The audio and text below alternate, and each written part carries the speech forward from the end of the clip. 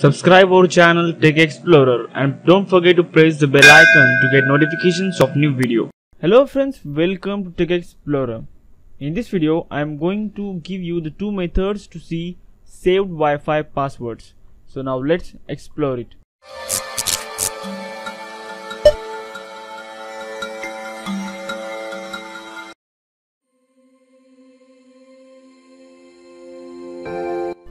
First, I will disconnect from my Wi-Fi. I will delete it.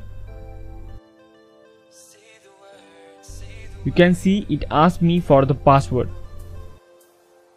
So if you forgot this password, I am giving you two methods to find these saved passwords.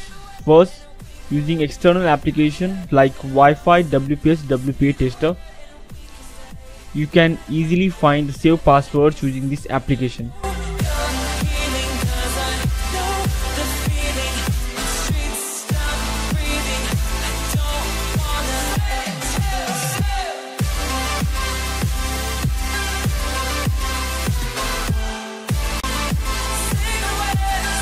Another method is using ES File Explorer.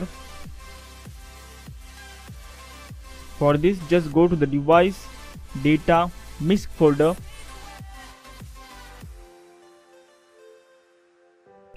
Where you can find folder named Wi-Fi. In Wi-Fi folder there is WPS supplicant.txt where you can see all your saved Wi-Fi passwords.